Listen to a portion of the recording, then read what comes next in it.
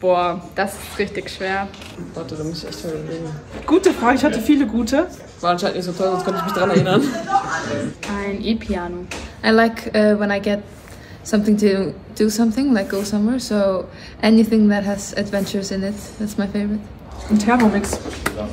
Ja. Eine Halskette von meinen Eltern. Ein ähm, E-Piano. Klingt zwar langweilig, aber es ist immer, wenn ich mit meiner kompletten Familie dann einmal im Jahr zusammenkomme und wir schön zusammen essen und ja, einfach die Zeit genießen.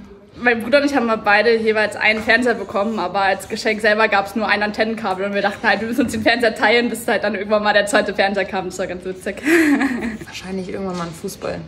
Oh, da war ich kleiner, das war äh, eine Nintendo 64. Schokolade. Nein, übrigens, schönste Weihnachtsgeschenk war, damals meine Schwester war schwanger und das war das erste Mal und sie hat es mit Weihnachten, hat sie das bekannt gegeben.